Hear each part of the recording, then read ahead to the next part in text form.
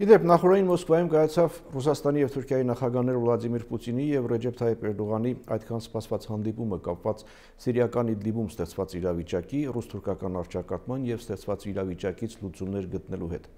Ռուս-թուրքական բանակցությունները տևեցին բավական երկար, ավելի քան 6 ժամ, նախ երկու նախագահների դեմ առ դեմ ձևաչափով, ապա նրանց միացան երկու երկրների պատվիրակությունները։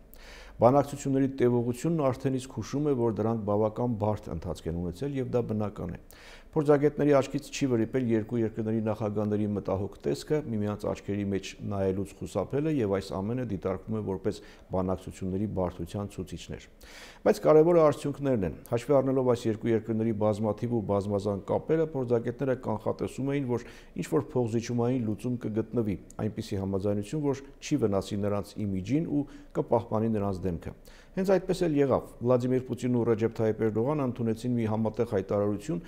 որով համաձայնել են մարտի 6-ից դադարեցնել ռազմական գործողությունները շփման գծի երկայնքով, ստեղծում են անվտանգության միջանցք Սիրիայի M4 մայրուղուց դեպի հյուսիս եւ հարավ ընկած տարածքում 6 կիլոմետր երկարությամբ, համաձայնություն են ձեռք բերել մարտի 15-ից համատեղ բարեկություն իրականացնել այդ մայրուղու երկայնքով։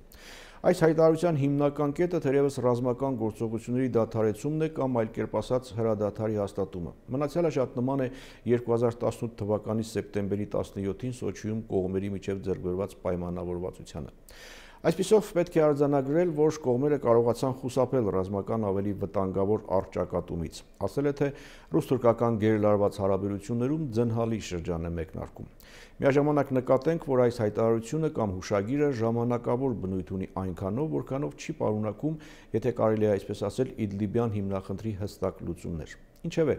Ռուսաստանի եւ Թուրքիայի նախագահների հանդիպմանը ձեռք բերված համաձայնությունը գոնե այս պահին ոչ միայն ահագին մեղմում է լարվածությունը երկու երկրների հարաբերություններում, այլև բխում է մեր տարածաշրջանի ու հենց Հայաստանի շահերից։ Հակառակ պարագայում կարող էին աշխատել հարավային Կովկասի ու Հայաստանի համար ավելի վտանգավոր այս պահին տեսական թվացող սցենարները։ Ինչքան էլ պարադոքսալ հնչի, մեր շահերից չի բխում ռուս-թուրքական հարաբերությունների ոչ գերլարումը, ոչ էլ շատ ջերմացումը։ Ինչպես ասում են, ամեն ինչ լավ է, երբ լավ է վերջանում։ Լավ մնացեք։